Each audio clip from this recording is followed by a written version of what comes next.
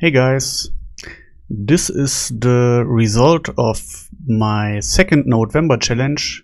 The prompt was Psychedelic LA and I posted it on Twitter and some users asked me about the outline effect and how I did it.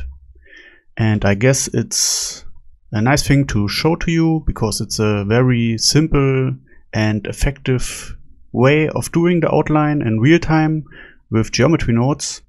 And yeah, it has some cool parameters, uh, noise and all the other stuff. So yeah, let's do this. Okay, so for the effect I add the classic monkey Suzanne mesh and then I add the geometry nodes modifier and to add a little bit more resolution I add the subdivision surface node and I also want to shade this smooth so yeah, that's the base mesh. And how do we get an outline?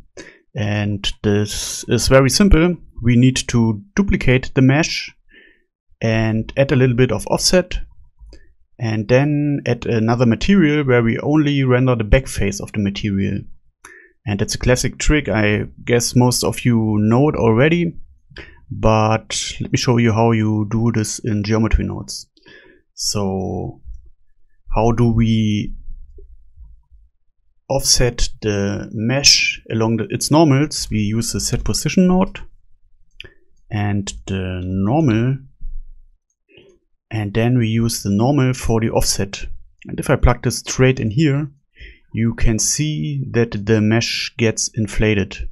And to control the strength, we can use a vector math scale node and with this I can nicely control the amount of offset. Okay, so to make this a duplicate of this model here, we can first put this in a frame and then we use the join geometry node and to display both we simply do this and yeah so if I now toggle on X-ray, you can see that there is kind of an outline appearing. And for this to work, we need two different shaders or two different materials. So we use the set material node one time here and then here. And then I create two materials. One is the solid mesh and then the other is the outline material. So here I apply the outline oops wrong material. And here the solid mesh. And then we switch to rendered view. And for the outline material we want it to have a transparent attribute. So when we look from the front of the face we want it to have a transparent value. And when we render the back face we want it to be opaque so to give this material this attribute, we can choose one of these alpha methods here. I tend to use alpha clip for this and we don't want a shadow. And that's all we have to do here. And in the material, we need to define two shaders. One is the transparent shader and the other one can be any other shader, a diffuse or emission works for this uh, too, or I think the best. So we need a transparent and an emission shader. And then we mix these shaders depending on the backface value and we can get the backface value with the geometry shader node. And here we have the backfacing. If I plug this straight in here, you can see that it already works. So yeah, here we can define the color. And with this value, I can control the thickness of the outline. And yeah, let's quickly change the other material to give it more of a toon-like look. So I add a line, uh, light, sunlight in this case, just a very quick setup here. Nothing special. And I give it a rim light a little bit. So maybe like this. And then in my solid shader I simply use the shader to RGB node. And maybe it's nice to show you my shader the shader I've used in my November prompt. And it's also a thing some people ask me about. So yeah uh, how to do this? It's really simple. We need a noise texture and the texture coordinate for the window. And if we look at this you can see that it is mapped depending on the camera. And we have to take the aspect ratio in into account. So yeah you can compensate this with a, a little bit of vector math here. So simply add a vector math node and set it to multiply. And the first two values you can control your aspect ratio but anyway I don't need this for now because I want to use a square format for my camera. So yeah, let me quickly add a camera here like this. Okay, that's okay, I guess. And then I increase the scale here to give it this noisy look. And in combination with this shader to RGB node here, I can use the greater than node, so math greater than, and compare these values against each other.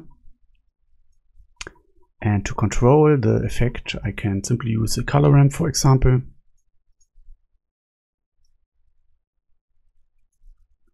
And yeah, you have this nice airbrush effect or something like this. And of course, you can do crazy stuff with this, but a simple thing to do is, for example, take the mix color node, use this for the factor, and then you can change here the values to your preference. So, yeah. Nothing crazy. Just maybe like this. Then, of course, we need to adjust the outline color.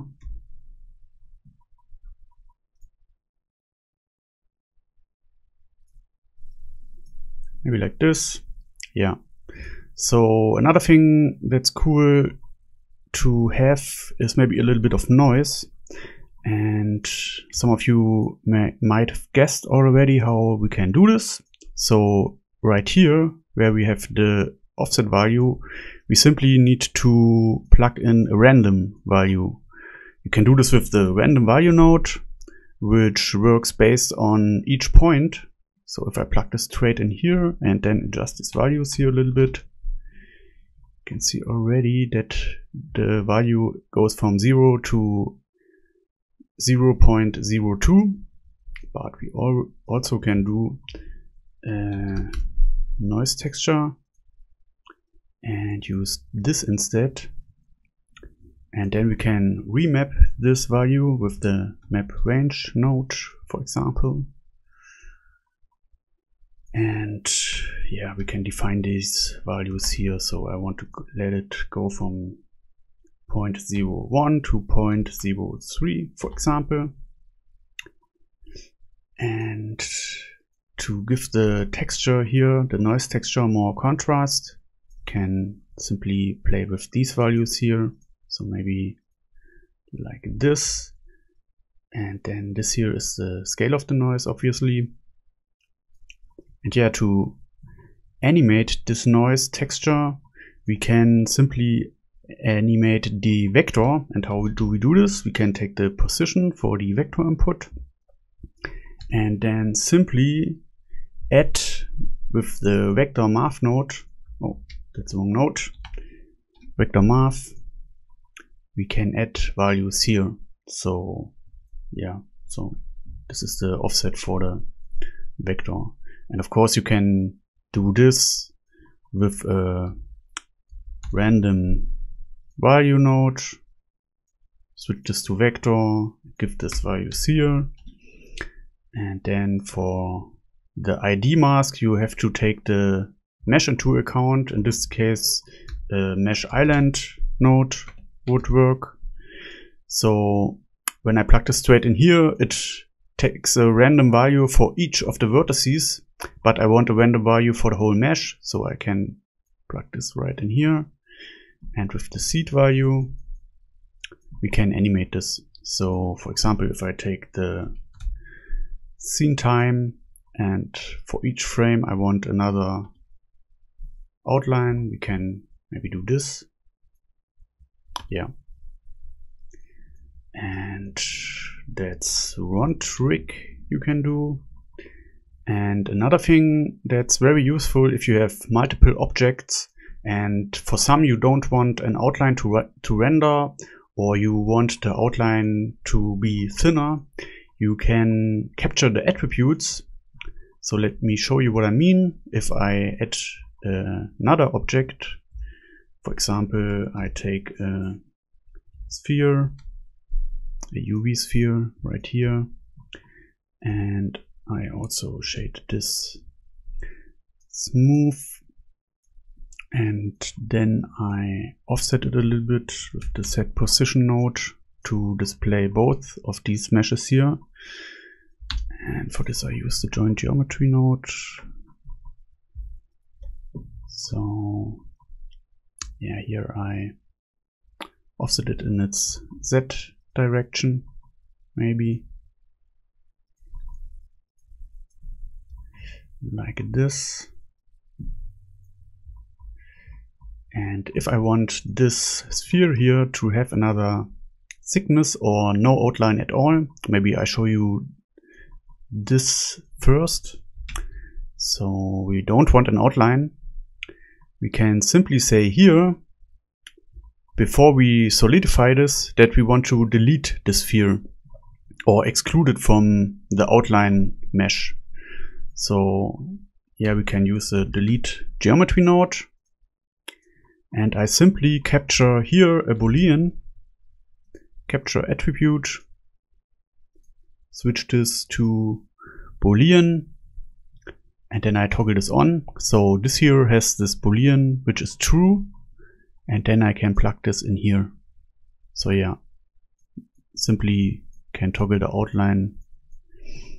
Uh, but what I tend to do in the newer versions of Blender, we have the store attribute name or store named attribute. And with this, I don't have to make all these connections. So I can switch this here to a boolean again, toggle this on and say, for example, no outline. And then I can pull up this attribute right here with the named attribute and then I choose no outline and plug this right in here. So yeah, with this you can exactly define which mesh should have an outline and which shouldn't have an outline. And for example, if you want to control different sizes of the outline, so let me quickly delete this here, we can do the same or similar with the store named attribute again. And for this I need a float and I say, for example, outline thickness. And let's say we want a factor of 0.5 on this one. And here I want a factor of 1.5, for example. And then I can simply right here either plug this attribute straight into the uh, scale input here, so outline thickness. And of course it's very extreme, so we need to multiply it or adjust it uh, here, adjust our floats here. But it doesn't really matter. So yeah, you see this has a smaller outline or a thinner outline. Yeah. But we already have this nice noisy effect here. So let's simply multiply this factor with this. And yeah, you see that we have a nice controllable outline. And yeah, what else can we do? And uh, what I recently do more often with geometry nodes is to pass color attributes between the modifier here to my shader. And that's a really nice way to control uh, all the appearance of the object in one place. And for this, I simply store a color attribute. So I switch this to color and I name this here outline color.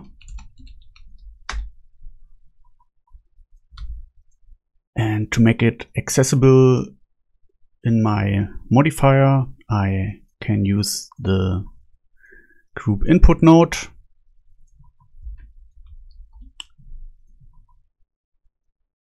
and here I say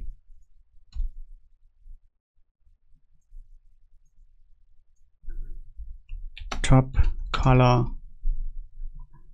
And for this I give it the name bottom color. Yeah the naming is not really good but it doesn't really matter. And now we have this color attributes here. So I can define a color for the top and for the bottom. Oh yeah, maybe give this a yellow outline. And with this, I can go in my outline shader and get this attribute with the attribute node. And here we have to type in our attribute name and it is named outline color we wanted to name outline color. So uh, paste this in here. And why doesn't it work? Oh yeah, I have to of course correct this error here too. And yes, so here we can now control the outline color for each of these objects individually. And of course you can do this with the other material too, but I guess you can figure it out yourself.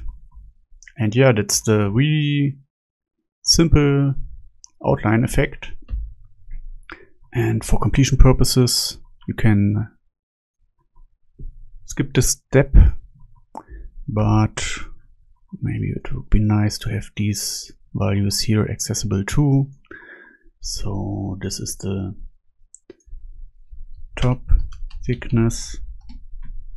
This is the bottom thickness. Yeah.